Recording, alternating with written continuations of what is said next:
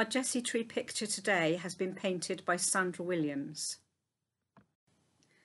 December the 20th, Elizabeth and Zechariah.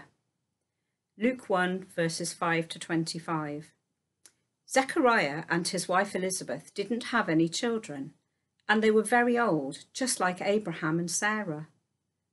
One day, Zechariah was at work, serving in the temple, when an angel appeared to him and told him that he was going to have a son.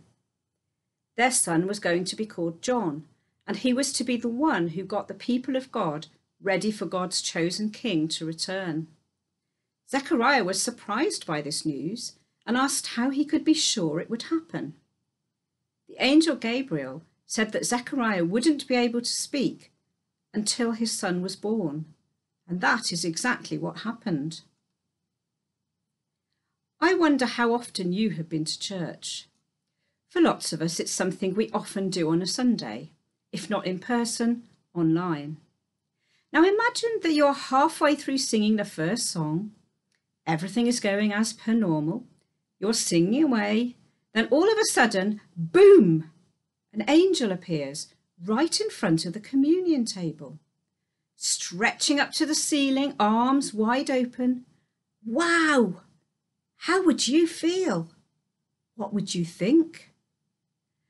In this story, this happens to Zechariah.